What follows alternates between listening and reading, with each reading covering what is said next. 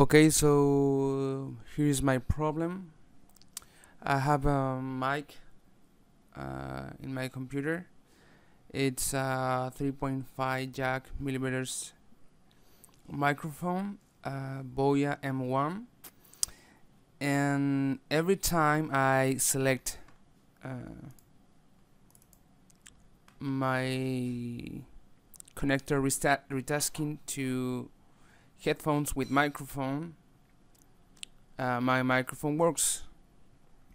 But if I choose mic in or only the microphone because in, in this case I, I can't select the you can select the the the speakers of the computer uh, I don't have headphones it's only a mic so I can't hear anything I say.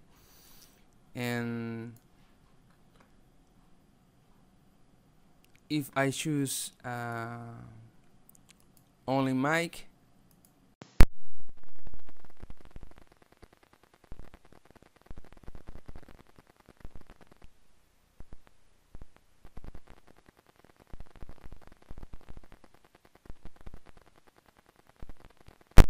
So in that case, probably the only thing that you're hearing is crackles. So I don't know what to do because uh, the first time I connect this uh, microphone, only using the mic in, well, it worked perfectly uh, without any trouble.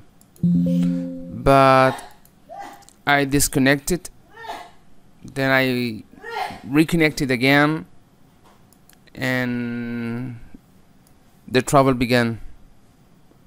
So I don't know I reinstalled the drivers I did everything I see in the internet and I don't know what to do. So maybe you have a, the, the solution for this this trouble this problem. Thank you